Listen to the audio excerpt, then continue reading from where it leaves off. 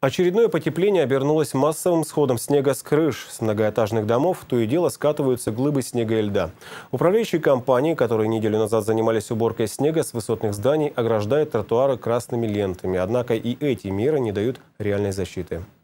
Сидели, чай пили, потом слышим какой-то шум на улице. Пошли, посмотрели. Жена пошла к одному окну, я к другому. Ну, что увидели, то и увидели. Вот впервые, за сколько тут, 6 лет живем, Впервые за 6 лет такой случай. Разбитое лобовое стекло и сильно поврежденный капот. Таков результат схода талого снега с крыши многоэтажного дома, при том, что автомобиль стоял далеко не под окнами. Владимир незамедлительно обратился к участковому для фиксации ДТП. До его приезда транспорт не перемещал. Все обстоятельства случая должны быть максимально достоверны. После получения протокола позвонил независимому оценщику. Он проводит фотофиксацию нанесенного ущерба. Мы передадим фотографии эксперту, вызовем еще эксперта дополнительно он произведет экспертизу, то есть в данном случае будет претензия выставлена на, результате, э, на основании независимой оценки. Но также можно, если, повторяю, все будет зафиксировано сотрудниками полиции, э, по возможности можно пригласить сотрудников управляющей компании, чтобы они тоже зафиксировали, что данные повреждения. Можно машину отремонтировать и идти уже э, за возмещением ущерба по фактическим расходам. С этим документом необходимо обратиться в управляющую компанию. В договоре между жильцами дома и обслуживающей организацией четко сказано о работах по содержанию крыш. Если они не выполняются, ответственность за ущерб от схода снега несут коммунальщики. В данном случае управляющая компания «Коми-сервис».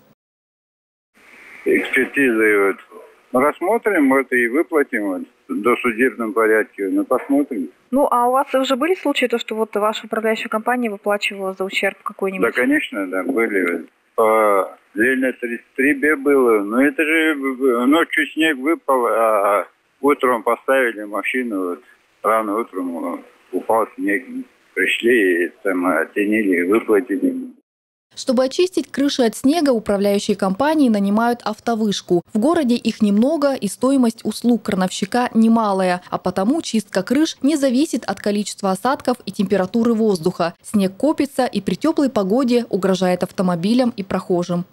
Тяжесть снежных масс не выдерживают и специальные ограждения, установленные на крышах многоэтажных домов. Вот эта металлическая конструкция рухнула в нескольких метрах от тротуара.